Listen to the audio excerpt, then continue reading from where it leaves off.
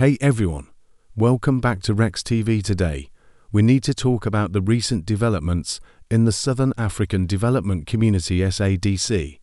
It has come to light that SADC is considering giving the chairperson post to the President of Zimbabwe, Emmerson Mnangagwa. This news has caused a lot of concern and dissatisfaction among the people of Zimbabwe, and for good reason. Mnangagwa's presidency has been marred by controversy and accusations of human rights abuses, electoral fraud, and corruption.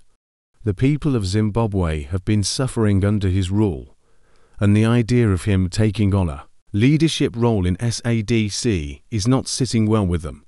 Many Zimbabweans feel that Mnangagwa's potential appointment as the chairperson of SADC is an insult to the suffering they have endured under his leadership. They believe that it sends the wrong message and does not reflect the values of democracy, justice, and accountability that SADC should uphold. The people of Zimbabwe have made it clear that they do not want Mnangagwa representing them on the international stage, and their voices should not be ignored. If SADC goes ahead with this appointment, despite the objections of the people, it could lead to even more unrest and dissatisfaction within Zimbabwe.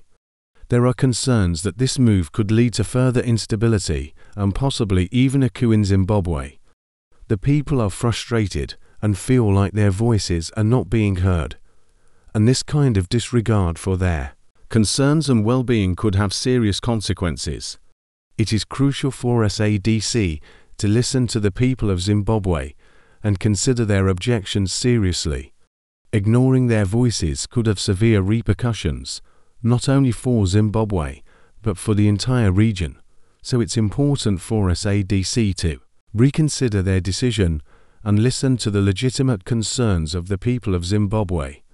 The potential appointment of Mnangagwa as the chairperson of SADC is not in the best interest of the people, and it could have serious ramifications for the stability and peace of the region.